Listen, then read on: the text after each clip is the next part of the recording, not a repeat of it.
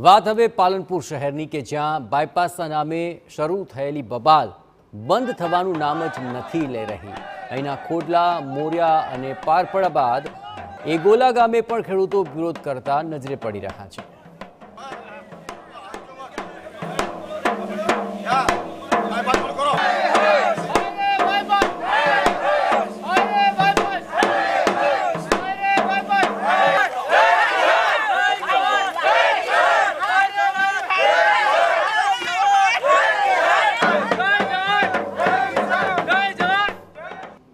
સતત સરકાર વિરોધી નારાઓ લાગી રહ્યા છે અને તંત્રના કાને આ વિરોધના પડઘા બરાબર પડે તે માટે ઢોલ નગારા પણ વગાડવામાં આવ્યા. વિરોધમાં ઉતરેલા લોકો એગોલા ગામના ખેડૂતો છે જોકે માત્ર એગોલા ગામમાં જ નહીં, પાલનપુરના અનેક ગામોમાં આ જ રીતે સરકાર વિરુદ્ધ વિરોધનો સૂર ઉઠી રહ્યો છે. હકીકતમાં પાલનપુરના એરોમા સર્કલ પાસે સતત ટ્રાફિક જામની સમસ્યા સતાવી રહી છે. ત્યારે તેના નિવારણ માટે તંત્રે પાલનપુર ફરતે ચોવીસ કિલોમીટરનો બાયપાસ બનાવવાનો નિર્ણય લીધો છે અને આ નિર્ણય વિરુદ્ધ જ ખેડૂતોમાં રોષ છે. તેનાથી લગભગ સોળ ગામડાના ખેડૂતોની જમીન કપાતમાં જવાની ભીતિ છે.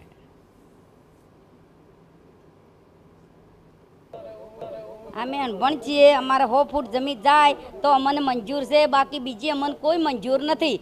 અમારે જમીન પછી રહેતી નથી બાળ બચત માલ મિરાજ લઈને જાઉં છો. ખેડૂતો તો હાલો મરી છે આટલો ત્રણસો ફૂટ રોડ જાય સાહેબ તો કશું કંઈ રહેતું નથી જમીનોમાં અમારી. અમારી પોતાની અમૂલ્ય જમીનો જતી રહી છે. પાણીના મૂલ્યમાં. માગણીમાં સાહેબ એવું છે કે જો કંઈ બીજી ખરાબાની જગ્યા હોય તો અમને ટ્રાન્સફર કરી આપે સરકાર. તો પણ અમારે મંજૂર છે. ના હોય તો અમને ઊંચું કંઈક વળતર મળે, એ રીતે અમને વળતર આપે.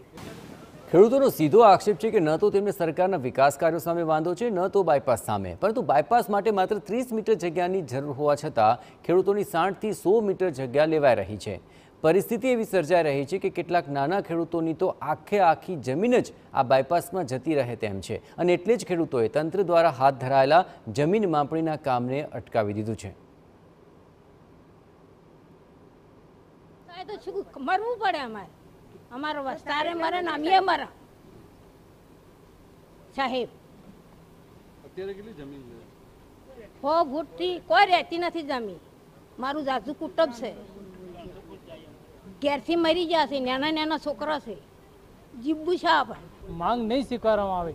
તો અમે ઢોલ પાલમપુર ગોધીનગર સુધી અમે જઈ શકીશું.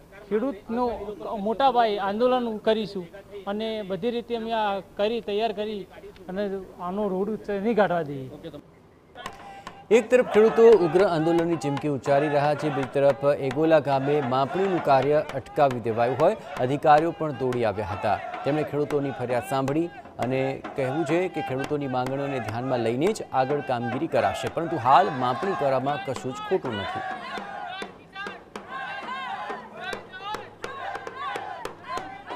જોગવાઈ મુજબ જે પણ આગળની કાર્યવાહી થશે, એ પણ ખેડૂતોના હિતને ચોક્કસ સરકાર તરફે ધ્યાને લેવામાં આવશે અને સાથે સાથે એમના વળતરનો મુદ્દો છે, એ પણ સંપાદક અધિકારીએ ચોક્કસપણે ધ્યાને લીધો જ છે અને એ પ્રમાણે જ સંપાદનના હુકમો કરેલા છે.